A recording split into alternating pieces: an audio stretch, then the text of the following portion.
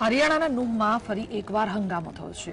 કુવા પૂજન માટે જઈ રહેલી મહિલાઓ પર મદરેસામાંથી પથ્થરમારો કરાયો હતો અને તેમાં કેટલીક મહિલાઓ ઘાયલ પણ થઈ છે. પોલીસ અને પ્રશાસને તણાવપૂર્ણ સ્થિતિમાં લોકોને શાંતિ જાળવવાની અપીલ પણ કરી છે.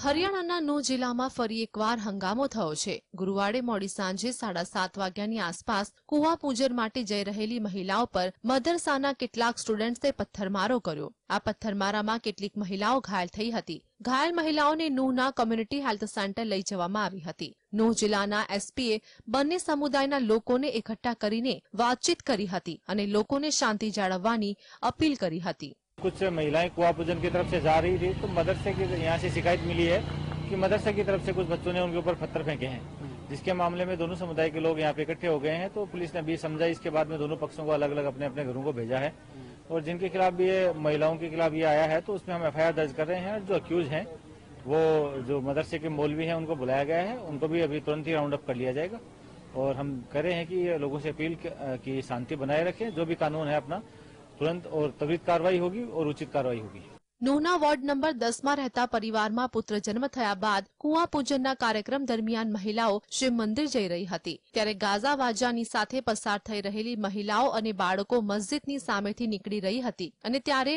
મદરસામાંથી પથ્થરમારો કરાયો હતો अभी इसका मेडिकल कराने के लिए उनको भेजा गया है तो उसके बाद एमएलआर के बेसिस पे उनको आएगा कोई ज्यादा बड़ी चोटें किसी को नहीं है कल इशू एक हुआ था यहाँ उस पर हमने एफ आई आर लॉन्च कर दी है तो उसमें, क्योंकि कोई नाम वगैरह उन्होंने दिए नहीं थे तो उस पर इन्वेस्टिगेशन कर रहे हैं, जो भी इसमें दोषी होंगे उनके खिलाफ कार्रवाई करेंगे।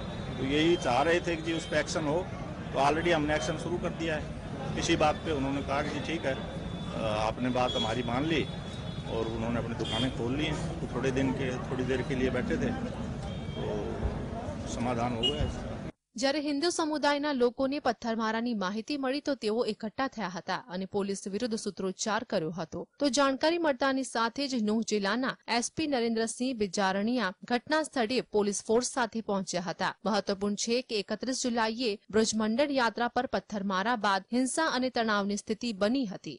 Bureau report, GSTV.